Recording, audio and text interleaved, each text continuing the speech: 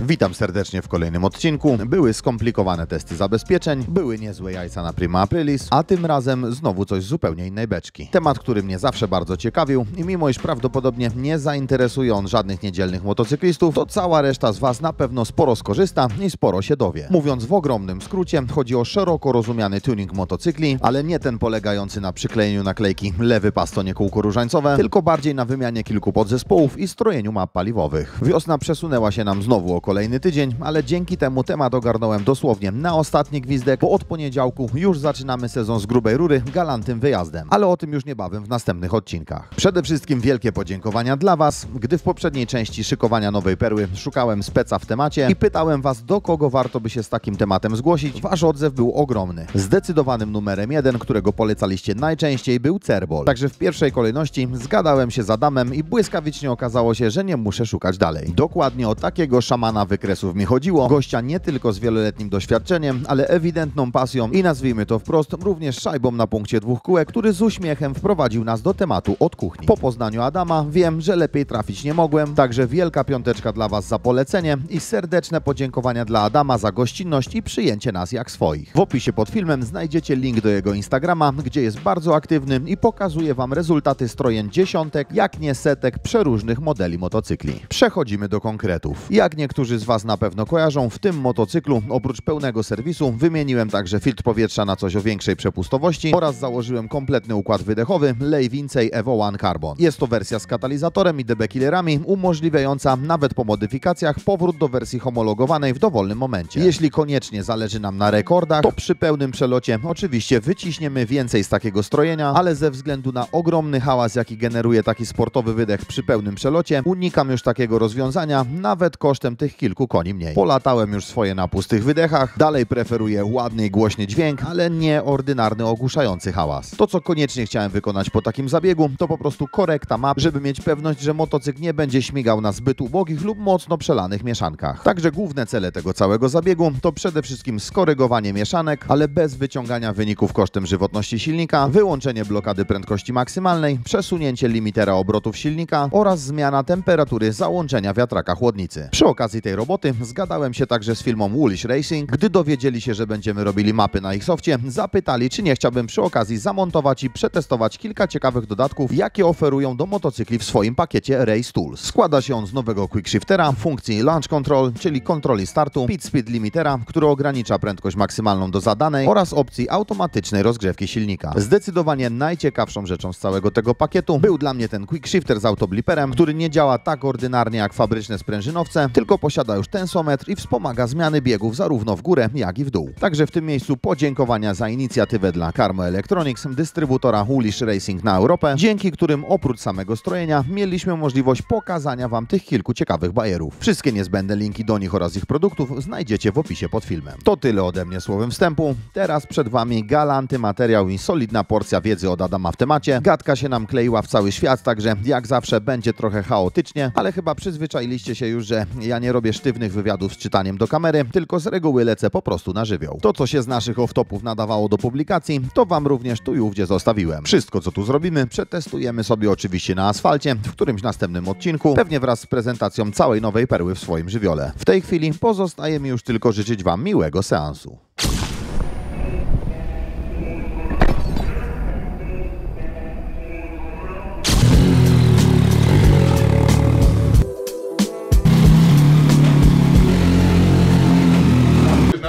Zrobimy badanie wstępne, więc y, tylko go zapinam, podpinam wyciąg i robimy pierwsze badanie, żeby wiedzieć od czego zaczynamy. Najpierw trzeba go rozgrzać, przede wszystkim laczka, nie? I teraz tak, dla was y, panowie ważna uwaga, No. nie stać za motocyklem jak będę kręcił, nie? Bo jakiś kamyczek w oponie, czy nie daj Boże twu zerwany łańcuch leci jak pocisk. To na zotach jeszcze jak jeździłem z hamownią to zawsze problem, bo ludzie z Bo się z, z tyłu stawali. Tak, tak, tak. Zobaczyć ile jest killer mocy, a ile bez? Jaka jest różnica? Mocy? No pewnie, tak. Wyjdzie tak czy nie? Kombinery jakieś pewnie. Jest, dobra. Własna inwencja.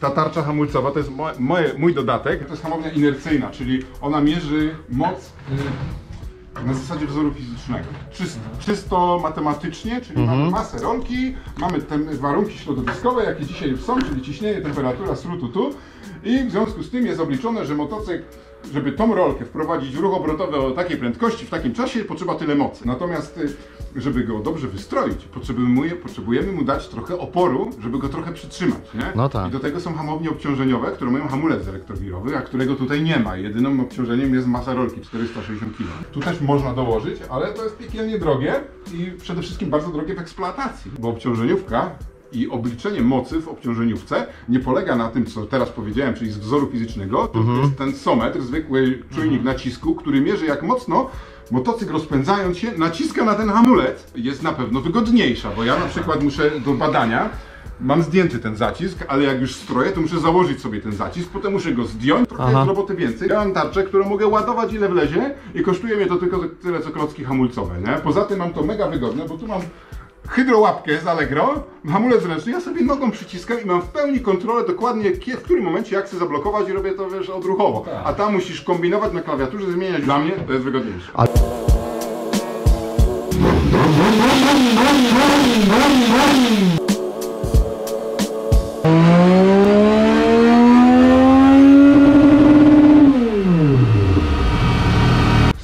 110. 110 widać tam, no coś takiego. A zobaczymy co będzie po remapie, nie? Jak bardzo są rozjechane mieszanki. Natomiast ostatnio robiłem takie dwa SPki, to jeden jak przyjechał miał 98 koni. Czyli według ich deklaracji 5 koni brakuje. Tak. Teraz ważne jest to, że producent nie deklaruje mocy maksymalnej w tym motocyklu, tylko No. zwróć uwagę, jak w katalogu jest napisane maksymalna moc silnika. Jak- Po wyrzuceniu kata i wszystkiego. Tyle maksymalnie Tyle będzie miał. Kiedyś tam, Tak. ewentualnie. Jedynym takim, który pokazuje rzeczywiście tyle, co deklarują, to jest e, S1000RR, nie? Tam mówią 200, wjeżdżasz, jest 200. Mhm. Ale jak przeciągniesz na przykład rozrząd do 5000 km po terminie, no to już, To jest ju- 185. to już nie jest 200. Nie jest źle, bo jest ładny ten wykres całkiem liniowy, nie ma żadnych większych szarpnięć. Nie, ale parę awarii miałem na hamowni. Najczęściej to pasy napędowe zmienię, w czoparach, nie? Uzrywam. To A jest- paski, o tak, bo kurde. paski wiecie, to jest guma. Tak samo jak masz przewody hamulcowe 5 lat i jest świetnik generalnie. I tak powinno być, ale ludzie tego nie wymieniają, potem przyjeżdżają jakieś Harley'e, dostaje po garach, no i leci. Ale to ci powiem z dwojga złego lepiej jak paszczel jak łańcuch wy... Nie? W tym roku, w zeszłym to już teraz było, nie tyle łańcuch się zerwał, No. co napinacz, wiesz, był chiński napinacz, dostał launch control i quick shifter i pierwszy test launch controla to był, No. pełna, wiesz, łycha, tam No. 6000 czy 7 kręcił, start i zmiana przy maksymalnych obrotów w biegu na shifterze i w tym momencie jak dostał szarpnięcie, to śrubka od naciągu strzeliła, ośka się poluzowała, znaczy I z poluzowała. koło się... s- O kurna, no ta. Zeskoczył z zębatki, nie? Tu wiesz, brrr, O, w silniku. Mam to nagrane. Masz tu nagrane? A noga cała? Noga cała lewa? Nic mi się nie stało na szczęście.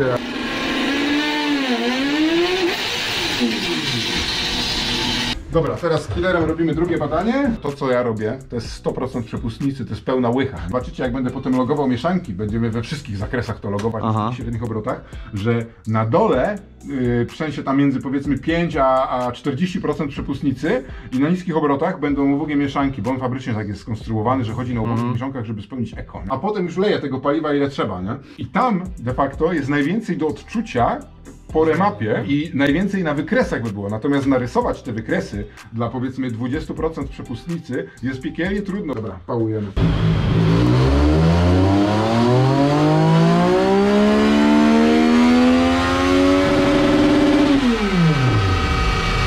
No zobacz, cztery konie różnicy. Dół widzisz, nie poszedł jednak do góry. No właśnie. Także jest a, za bardzo aż dławiący ten killer, nie? No. Po prostu. Natomiast no, góra straciła ducha strasznie, nie? Widzisz, No widać. masz 6 koni różnicy, 6,5, y, przepraszam, 4, tak? 106. E, czyli masz 4,5 konia różnicy mocy maksymalnej, natomiast weź pod uwagę, że to jest tutaj, nie? Tu masz 110, Ta. a tu masz pik dosłownie 106 koni, natomiast zobacz, tu masz tych koni 107, a tu jest 98, więc tu jest 10 koni różnicy na górze, nie? Mhm. No wykastrowany fest przez ten, przez ten DB Killer, nie? Przeniesiemy tą samą różnicę, tylko obie ró- wyżej mniej więcej? pewno. Ile tych koni będzie, to tak naprawdę nie wiadomo. Dopiero po sesji logowania mieszanek, którą zaraz zrobimy, Mhm. będzie widać, jeżeli on jest mocno przelany albo zbyt ubogi, No. e, w sensie AFR powiedzmy dążymy do 12,6. Może zaraz opowiem o co chodzi. Natomiast jeżeli dążymy do 12,6, a dajmy na to będzie 10, to jest 2,5 jednostki, no to wiemy, że tej mocy tam jest sporo do uzyskania. Nie ma reguły. Nie? Są motocykle, w których zysk mocy maksymalny to jest 4%, a, a są takie, gdzie tej mocy jest 40%. E, bo na przykład Har- Harley'a, mój rekord maksymalny, to był Harley, który przyjął 86 koni, a wyjechał 132. Także musisz sam zdecydować, w którą stronę idziemy. Przemykam drzwi i trzeba się dostać do kompa teraz. A ta siatka dopadła, czy nie? Ja zdejmuję to bez odkręcania siatki. Ja zawsze odkręcałem. Siatkę nie trzeba. Te dwa z tyłu robisz i jeden z przodu i schodzi ci to, nie musisz tego ruszać, nie? Ja zawsze wykręcałem. No, A no widzisz, człowiek się uczy całe życie, tak? Drogo ci nie policzę, no za, za szkolenie. Zabieram. O, no i dobra. Dobre jest. To jest Speed Speed Limiter, czyli to jest wiązka, którą dokładamy do motocykla. To jest po prostu guziczek on-off, który zamyka obwód. Po podłączeniu będzie miał dwie funkcje. Pierwsza funkcja to jest warm-up, czyli rozgrzewka sportowa silnika. Wciskasz guzik i on sobie bum, bum, bum, sam dodaje, odejmuje gazu do osiągnięcia temperatury, którą my mu zadamy. I programujemy mu do jakich obrotów strzela i wraca? Zobaczymy, bo to ewoluuje ta funkcja, więc jak Aha, wejdziemy w kompa aha, będzie widać, jak wysoko kręci. Można sobie.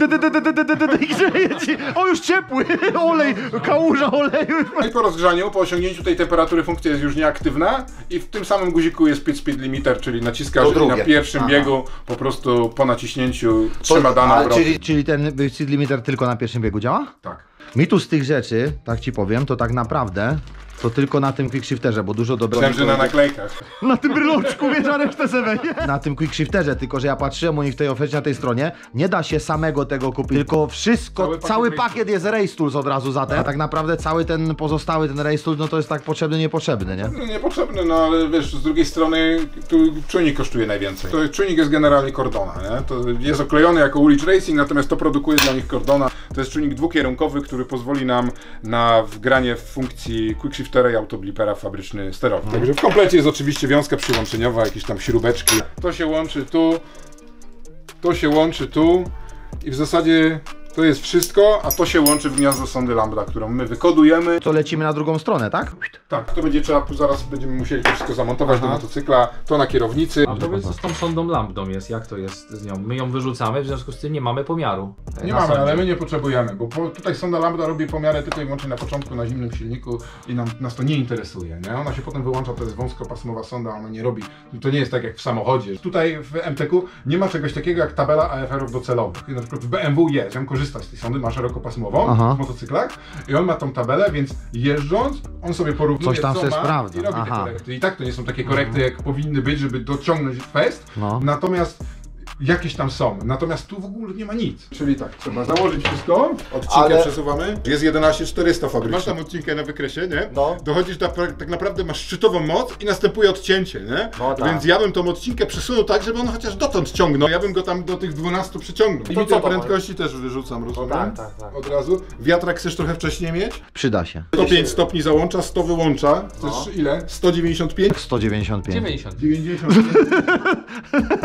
To nie przeżyje tego. Ja bym o piątkę zniżył, bo potem jest niedogrzany. Z kolei non-stop chodzi Tak. wiatrak, akumulator tak, tak, dostaje tak, po tak, tyłku. tak. Ciutkę, ciutkę go skup. 105 stopni w dół No. zjeżdżamy. Jest ustawione 3,5 tysiąca obrotów podbitka, fabrycznie. Mówisz to grzanie? Tak. I ciągnie do 80 stopni. Jak to jak ustawiasz z reguły? Na 3,5? Na dzień dobry odpalam wszystkie funkcje domyślnie i zobaczymy co jest, nie? Bo oni, to, oni tak to robią, żeby już było w miarę okej. Włączamy shifter, tu mamy w którym kierunku zmienia biegi, czyli jeżeli byś miał na przykład tak, że masz jedynkę w górę, a resztę w dół, no to wtedy zmieniamy Aha, sobie w no drugą tak, stronę, na nie? Czułość masz między 1 a 10 regulacji, no, no domyślnie jest na 3, czyli tak dosyć miękko będzie, Tak. nie? Jeżeli jest świeży motocykl i dobrze działa skrzynia, to będzie ok.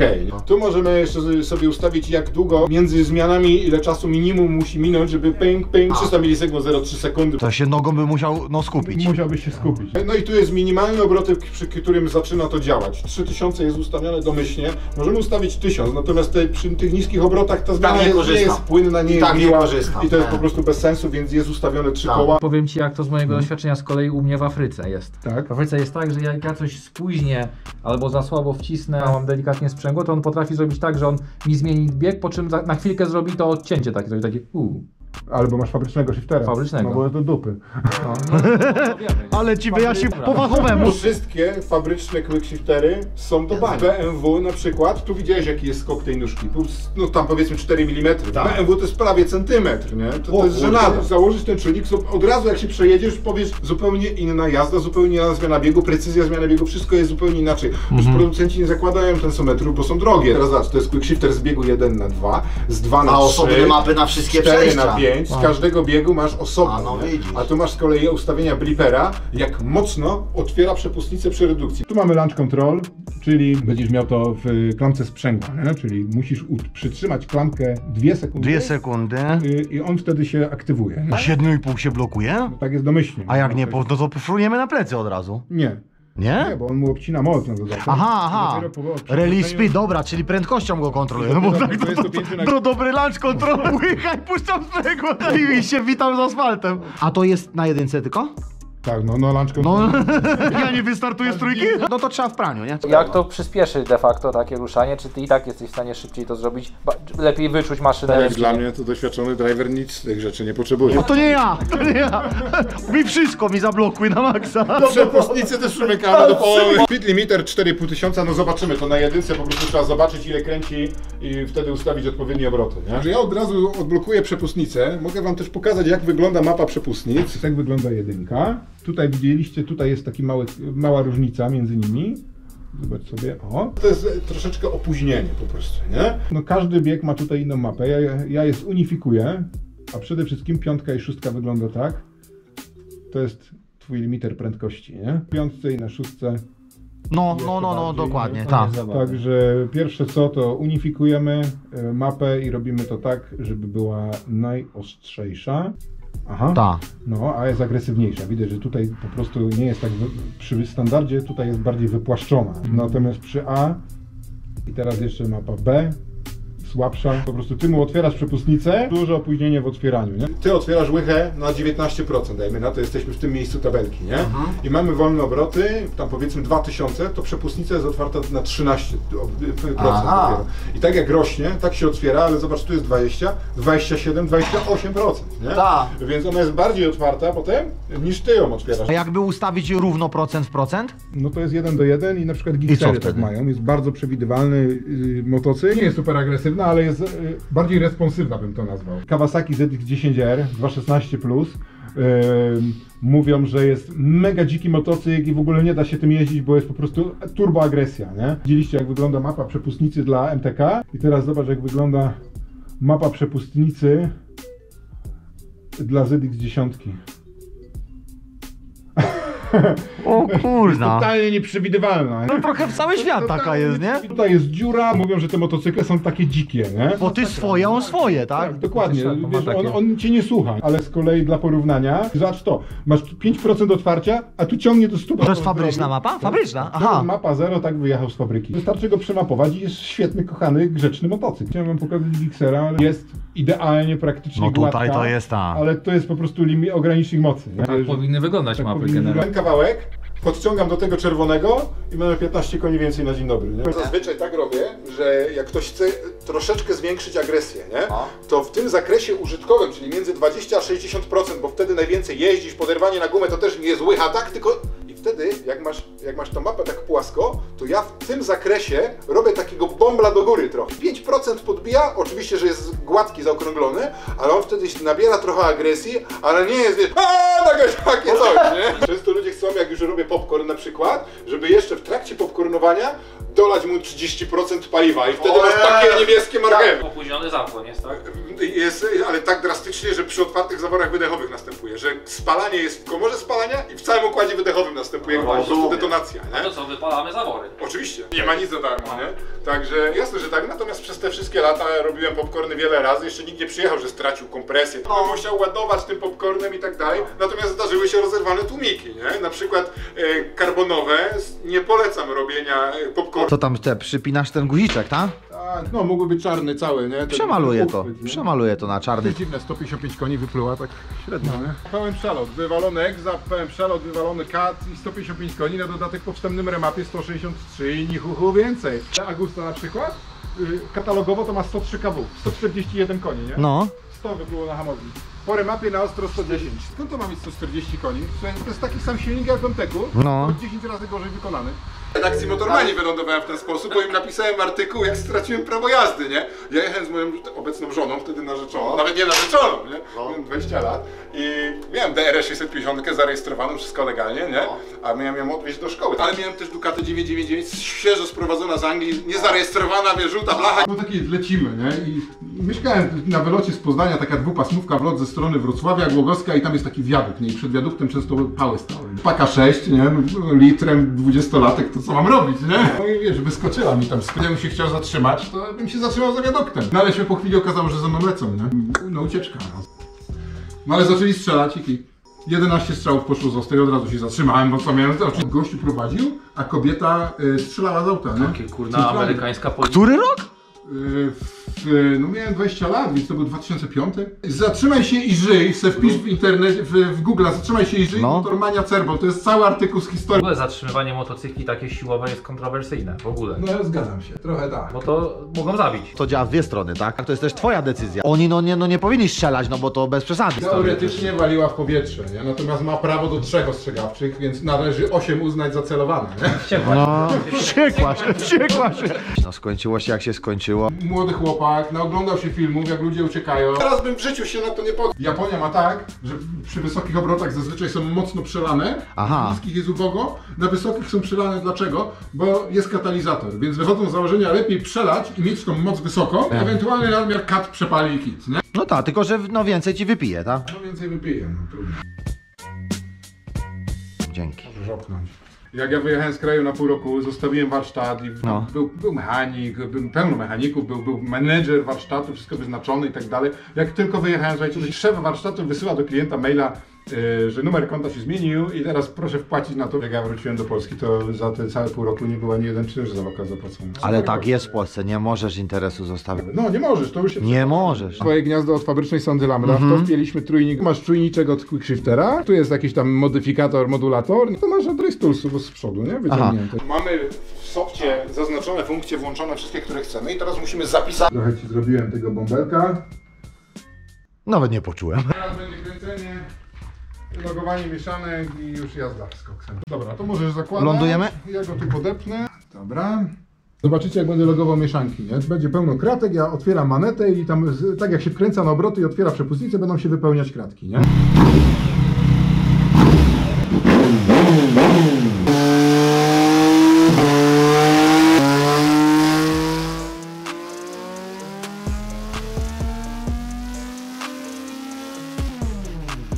Kilka teorii, po prostu co tam robiliśmy. Mamy niebieskie i czerwone kratki. Niebieski, tam gdzie są niebieskie mamy za bogate mieszanki, tam gdzie są czerwone jest za ubogo. Obroty silnika, a tu mamy procenty otwarcia przepustnicy. Aha. I on, jesteśmy podłączeni do sterownika silnika, więc system na bieżąco w czasie rzeczywistym odczytuje obroty, odczytuje procent otwarcia przepustnicy, a oprócz tego wydech ma wkręconą sondę szerokopasmową I i, loguje to. AFR-y z sondy szerokopasmowej i wypełnia po prostu te kratki. Tu mamy 15, 16 i teraz ten zakres to jest między 4,5 a 6700, czyli tam, gdzie najczęściej pewnie jeździsz sobie spokojnie, jeździsz na ubogo, nie? Także tam będzie najwięcej do zrobienia, plus przy pełnej manecie jest przelany, ale to nie jest duży problem. I teraz tak, to jest mapa TPS-a, czyli mapa funkcji otwarcia przepustnicy. Potem jeszcze logowałem mapę IAP, czyli map sensor, czyli podciśnienie w układzie dolotowym, bo mamy tutaj dwie mapy.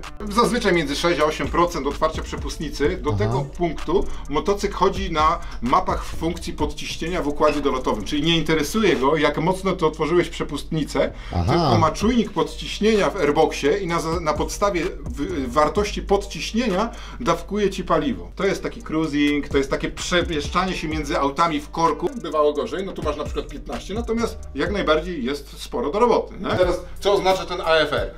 AFR, czyli Air Fuel Ratio, czyli stosunek paliwo-powietrze. Stosunek stechiometryczny, czyli ten, w którym następuje całkowite spalenie paliwa i powietrza, to jest 14,4 do 14,7 w zależności od tego, jakie zatankujemy paliwo. Dwa wykresy. Tutaj mamy AFR 12,6 i tu jest max mocy, czyli bogate mieszanki. Tutaj z kolei mamy 15,4 i tu jest min spalanie. Natomiast stechiometria mamy tutaj 14,7. U Ciebie na dole oscylujemy tu, a nawet jesteśmy tutaj momentami. Natomiast przy tych obrotach najbardziej użytkowych jesteśmy daleko nawet po. Jesteśmy mniej więcej tu, a momentami nawet tu. Jak widzisz w tym miejscu moc jest tutaj, a mogłaby być tutaj. Także do tego będziemy dążyć, przy czym nie robimy tak, żeby we wszystkich zakresach mieć 12,6. Przy niskich obrotach, niskich otwarciach przepustnicy robimy 13,5, bo mamy już wysoką moc, jesteśmy w tym miejscu, ale on nie pali takich ilości. Ja zazwyczaj robię tak, że mapę robię 40 na 60, czyli do 40% przepustnicy. Jedziemy w tych okolicach między 13,5 a 14 powiedzmy. To jest spokojna jazda, przelotka między miastami light. Natomiast jak już masz więcej niż 40, to zawsze jest pilnowanie, jedziesz, tak. wyprzedzanie, niech leje ile potrzebuje. Tak. Po co w ogóle robić takie strojenie? I czy to jest bezpieczne dla silnika? Bo to jest najczęstsze pytanie. Jak widzimy, AFR-y są mocno rozjechane. Przy niektórych, w niektórych zakresach jest za bogato, w innych jest zbyt ubogo. I to de facto jest bardziej niezdrowe dla silnika niż ujednolicenie tych AFR-ów. Dlaczego? Dlatego, że tu mamy nasz AFR docelowy, dajmy na to, niech to będzie 13. Silnik się rozpędza, wchodzimy najpierw na 17, a potem go przelewamy jest na 11. Nie? I tu jest przelany, tu jest za ubogi. Nie ma stałej pracy tego silnika, tylko raz jest za ubogi, raz jest za bogaty. Jak świrujesz, przyspieszasz i tak dalej, to przeskakujesz raz tu, raz tu, raz tu, raz tu. To nie jest wcale zdrowe dla silnika, bo, no bo po prostu brak stałości pracy. Zatem ujednolicenie tych mieszanek i sprawienie, że one będą się bujać, ale będą się bujać w takim zakresie powiedzmy i unikać tych zakresów, sprawiamy, że ten silnik jest, dla niego to jest bezpieczniejsze, bo pracuje w stałych warunkach, stałe y, przede wszystkim temperatury spalin. Przy tych AFR-ach, które masz tam 17, spaliny już są tak drastycznie gorące, że może Tak. wypalać gniazda zaworowe. Ja sugeruję każdemu wykonać remap w momencie zakładania przelotowego wydechu, a nie, że ludzie jeżdżą latami, a potem "E, można by coś zrobić. Panie, ja widziałem ten popcorn, pan mi wgra. Mówię, a może Wgra- jakiś remap? tak. Nie, nie, nie, Nie, trzeba. Jakbyś tu przyjechał mi na seryjnym motocyklu, na seryjnym tłumiku, wszystko fabryczne i byśmy zrobili mu taką sesję, to ci gwarantuję, że nie będzie w całym zakresie idealnie, bo producent jak go wypuszcza, to musi spełnić normy homolo- homologacyjne.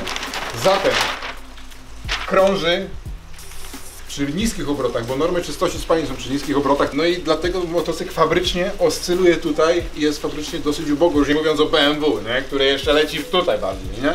No tam jest żenada totalna i w BMW jest najwięcej do roboty. Chyba nie, w ogóle też co ciekawe, te 12.6 co tu powiedziałem, różne motocykle mają różne potrzeby, bo przelanie go na 12.6 czy nawet bardziej sprawia, że on może być trochę ospały, nie? Na przykład Harley'e stroimy na 12,4 przy pełnej maneczce, nawet można 12,2, on sobie to przepali, ale jest taki miły, taki przyjemny w odczuciach, gładko, miło, płynnie jedzie, nie? Ale z kolei y, 600 czterocylindrową sportową stroimy na 13,2, 13 nawet 4, bo tam potrzebujemy błyskawicznej reakcji. Przelanie go sprawia, że on, on nie zyskuje zbyt wiele mocy, natomiast staje się bardziej ospały. W jaki sposób można rozpoznać, czy jeździmy na zbyt bogatych, czy na zbyt ubogich mieszankach? Ubogie mieszanki w jeździe charakteryzują się tym, że motocykl jest niespokojny, jest narowisty. E, na przykład jazda przy stałych obrotach, przy stałej prędkości, nie ma bu sobie spokojnie motocykl jedzie, tylko ty, ty, ty, ty, ty, bo ma po prostu za mało paliwa. No i oczywiście robi się gorące, na przykład R1 stare, wszyscy narzekają, że aż rama parzy, nie da się w krótkich spodenkach jechać. Ubogie mieszanki na niskich Co na R1 jakby no w czym innym jeździć, tak? I niż w krótkich spodenkach. Częściej chodzi wiatrak od chłodnicy, no jest dużo tego typu rzeczy. Nie? A ludzie często do mnie dzwonią, mówię, trzeba skorygować mieszanki, ale wykręciłem świecę i jest mleczna. Mówię, a kiedy zakończyłeś jazdę? Teraz weź pod uwagę, że mamy tam część jest y, kratek czerwonych, część jest niebieskich i w zależności czy zakończysz jazdę na tych ubogich czy na tych bogatych, taka będzie świeca. Zbyt bogate mieszanki, no przede wszystkim koledzy za tobą jadący mówią, że śmierdzi za tobą paliwem. W ekstremalnych przypadkach kopcuwa, najzwyczajniej świeci czarna, kłęby dymu za tobą lecą. W zasadzie to jest wszystko, nie da się inaczej sprawdzić, bo motocykl nawet przelany, no będzie dużo palił. I to zobaczysz. Dobra, odpalam, już nie gadam, bo czas mija.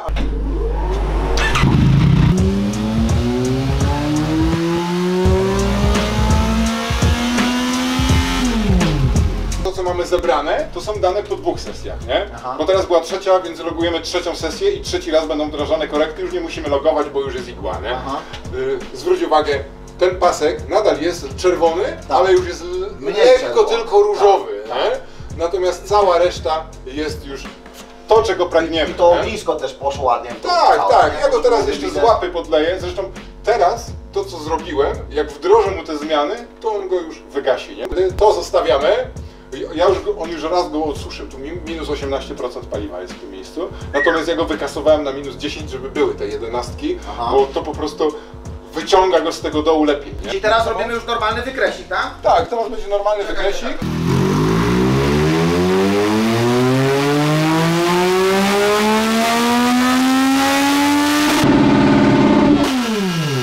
Jak widzicie, moment maksymalny w zasadzie się nie zmienił, nie? Momentem się tego spodziewałem, byłem taki jakoś super momentu nie ciągnął w górę, nie? Nie ma za bardzo warunków. No natomiast moc, jak widać, miałeś w tym momencie szczyt 110 koni, w zasadzie przez 500 obrotów dostępne, a teraz masz y, przez 2,5 tysiąca, nie? Powyżej 100 koni i to jest o 10 więcej na dodatek. Co nie? tam się obcierało? 120 się obcieramy, tak? I jeszcze można kawałek dalej pojechać. No zdecydowanie, nie? To przesunięcie No. odcinki tu jak widzisz było potrzebne, bo osiągałeś maks i było A niby tylko 500, nie? A zobacz. Tak, no jasne, tutaj widzisz, że jest 500 obrotów, nie? Ale de facto tutaj jest już półtora tysiąca. Ja mogę ten wykres jeszcze pociągnąć wyżej. Tutaj można go spokojnie, myślę, że na 125 możemy go podciągnąć, ale to już na zapłonie, nie? Czyli, Teraz- czyli już po żywotności silnika byśmy Znaczy, trochę to nie jest tak, że jest super żywotność jakoś drastycznie będzie obniżona, Aha. ale będzie, nie? Natomiast pytanie, czy jest sens, nie? Dla tych pięciu koni. pięć koni Co to mi zrobi? Zwłaszcza tu przy tym zakresie dodatkowe 5 koni. Nic to nie wniesie absolutnie. Weźmy pod uwagę, że góra, czyli ta dodatkowa moc, to jest ten fragment mapy, czyli to jest minus 6, minus 3% paliwa. Co odczujesz przy 20%, jak No. plus 15. Jakbyśmy zrobili wykresy dla 20%, to tam by była plus 15 koni, nie? Albo lepiej. Najmniej de facto zmian jest przy 100% manety. Nie? Zupełnie zmieni oblicze tego motocykla w trakcie jazdy.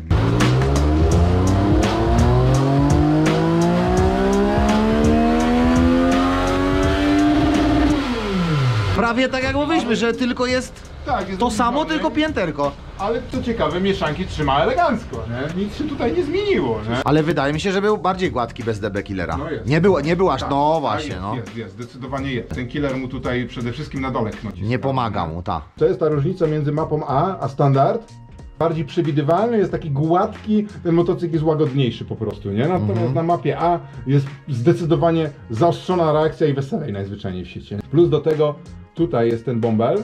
No i tyle, także pełen pakiet Race Tools, wszystko co się dało jest wdrożone, działa. Yy, No i co, nagramy jak to chodzi, nie? Teraz spójrz, ciągnę go do góry, już mamy opór i teraz go naciskam. Aha. Widzisz, że go naciskam i cisnę całą dźwignię. Czujnik w ogóle nie pracuje. Natomiast tu masz czujnik fabryczny, który spójrz na to. Pomijając to, że działa tylko w jedną stronę, Tak. pozwala jako funkcję quickshiftera, to ta dźwignia jest miękka, więc twoja kontrola stopą nad zmianą biegu jest zdecydowanie gorsza niż w tym przypadku, bo tu masz połączenie ze skrzynią biegów po prostu idealne.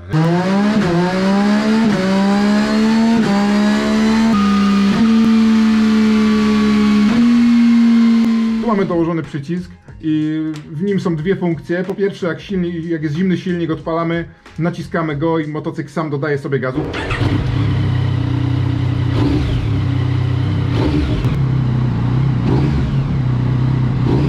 Aż do zadania, do osiągnięcia zadania temperatury, czyli w naszym przypadku 80 stopni. I na pierwszym biegu e, możemy go wcisnąć i mamy pit speed limiter.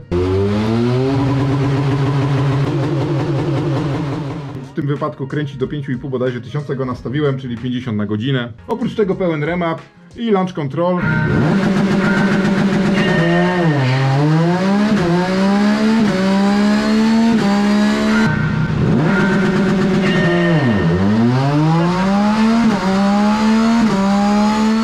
Pytania często się pojawiają, jakie są różnice między Power Commanderem a strojeniem na fabrycznym sterowniku. W zasadzie to nie ma większej różnicy, jeżeli chodzi o mapy paliwowe. Ponieważ jesteśmy w stanie skorygować mapy paliwowe i na fabrycznym sterowniku i na Power Commanderze tak naprawdę w ten sam sposób. Różnica jest trochę w rozdzielczości, bo Power Commander ma tych kolumn tam 5 czy 6, natomiast tu tych kolumn pionowych mamy zdecydowanie więcej, tak samo rozdzielczość i pozioma i pionowa jest zdecydowanie wyższa. Natomiast dla takiego przeciętnego użytkownika, który założył wydech i ma dziurę w gazie, dajmy na to, bo to się często pojawia, zwłaszcza w chopperach w dużych pojemnościach, Commander jak najbardziej wystarczy. Problemem jest to dostępność map, bo jest na, na stronie DynoJeta i na forach internetowych cała litania map do niektórych motocykli, setki map I żadna nie będzie dobrze pasować. Fabryczne gotowce są żenujące. Nawet wam lepiej powiem. Dwa lata temu miałem taką akcję. Kupił nowy motocykl w salonie i od razu wjechał akrap, nie? Jeszcze w salonie, zanim go odebrał, to już był założony wydech i mówi, nie da się tym jeździć, jest totalna żenada. Ja mu ten motocykl naprawiłem na poczekaniu.